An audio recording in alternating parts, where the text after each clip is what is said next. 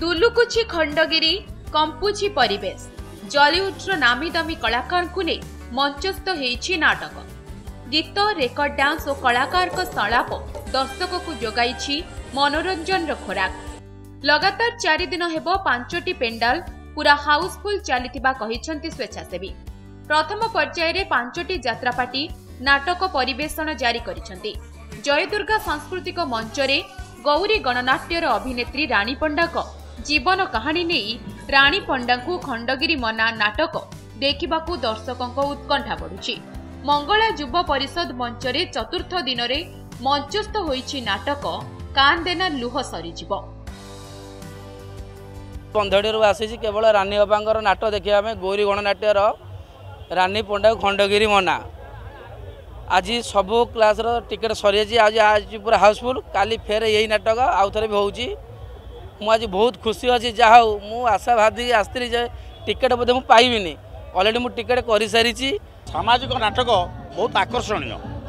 ବହୁତ ଆକର୍ଷଣୀୟ ଏବଂ ବହୁତ ରୋମର୍ଶନକାରୀ କିନ୍ତୁ ଗୋଟେ ଦୁଃଖର ବିଷୟ ରହୁଛି ଏଇ ଯାତ୍ରା ପାଲା ଦାସକାଠିଆ ଏଇ ଯେଉଁ ଓଡ଼ିଆର ସଂସ୍କୃତି ବେଳେବେଳେ ମରିଯାଉଛି ସେସବୁ ଜିନିଷଟାକୁ ଆ- ଯଦି ଆମେ ଏକାଠି କରିବା ତାହେଲେ ଆମର ଓଡ଼ିଆ ଭାଷା ସଂସ୍କୃତି ବଢ଼ିବ ଏବଂ ଚେଷ୍ଟା କରାଯାଉ ଏଇ ଯେଉଁ ଯାତ୍ରାଟାକୁ ଆମେ ସାହିତ୍ୟର ମାନ୍ୟତା ଦେବା।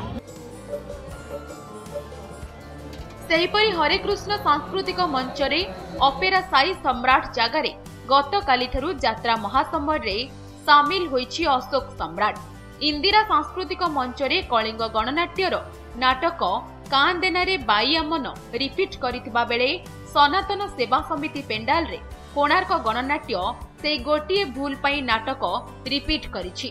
ସେପଟେ ଗୌରୀ ଗଣନାଟ୍ୟର ଚର୍ଚ୍ଚିତ ଅଭିନେତ୍ରୀ ରାଣୀ ପଣ୍ଡା ଚାରି ହଜାରରୁ ଉର୍ଦ୍ଧ୍ୱ ଦର୍ଶକଙ୍କ ପାଇଁ ଖାଦ୍ୟ ବଣ୍ଟନ କରି ବେଶ୍ ପ୍ରଶଂସା ସାଉଣ୍ଟିଛନ୍ତି ଅନୁଷ୍ଠାନ ତରଫରୁ ତାଙ୍କୁ ସମାଜସେବୀ ଆୱାର୍ଡ ପ୍ରଦାନ କରିଛି ଯାତ୍ରା କମିଟି।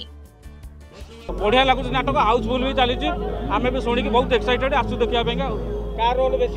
জীবন কবি রোল মতো বড়িয়া বহুত এক্সিলেন্ট লাগুছে বড়িয়া লাগুছে আর রুদ্রবাবু রোল মতো বহুত এক্সিলেন্ট লাগে পুরা হাউসফুল একদম পুরা এক্সিলেন্ট পুরা উৎসাহিত মানে আমি অনেক থাকু বর্ষ বর্ষ যাক অনেক থাকু কেতবে খণ্ডকী যাত্রা আসব কোণ কহব ওড়শাবাসী ভালো পাইবা সাথ সপোর্ট মো প্রতি রয়েছে ପାଇବା ସାଥ ସପୋର୍ଟ ମୋ ପ୍ରତି ରହିଛି ସେଥିପାଇଁ ମୁଁ ବହୁତ ଖୁସି ଏମିତି ଭଲ ପାଇବା ଆଶୀର୍ବାଦ ମୋ ପ୍ରତି ସବୁବେଳେ। ଏମିତି ରହିଥାଏ ମୁଁ ଆଗକୁ ଭଲ ସୁନ୍ଦର ଅଭିନେତ୍ରୀ ହିସାବରେ କାମ କରି ନାମ କମେଇ ଓଡ଼ିଶାରେ ଗୋଟେ ସ୍ୱତନ୍ତ୍ର ଜାଗା ସ୍ଥାନ ମୁଁ ନିଏ ଗୋଟେ ଭଲ ସୁନ୍ଦର ଅଭିନେତ୍ରୀ ହିସାବରେ। ଏ ନାଟକ ଆମର ଏଠି ବୋଲି ନୁହେଁ ସାରା ଓଡ଼ିଶାରେ ବହୁତ ଚର୍ଚ୍ଚିତ ନାଟକ ଇଏ।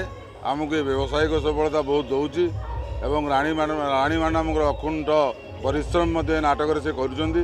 ମୁଁ ତାଙ୍କୁ ସେଥିପାଇଁ ମୁଁ ପରିଚାଳକ ତରଫରୁ ଅଶେଷ ଅଶେଷ ଧନ୍ୟବାଦ ଦେଉଛି। ଆମ ଖଣ୍ଡଗିରି ନାଁରେ ହିଁ ନାଟକ ହେଇଛି।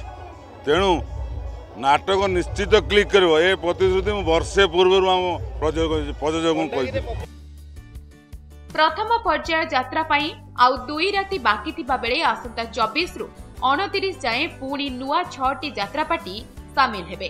ଭୁବନେଶ୍ୱରରୁ କ୍ୟାମେରାମ୍ୟାନ୍ ସନ୍ତୋଷଙ୍କ ସହ ଜ୍ୟୋତିରଞ୍ଜନ ସ୍ୱାଇଁଙ୍କ ରିପୋର୍ଟ ନନ୍ଦିଘୋଷ ଟିଭି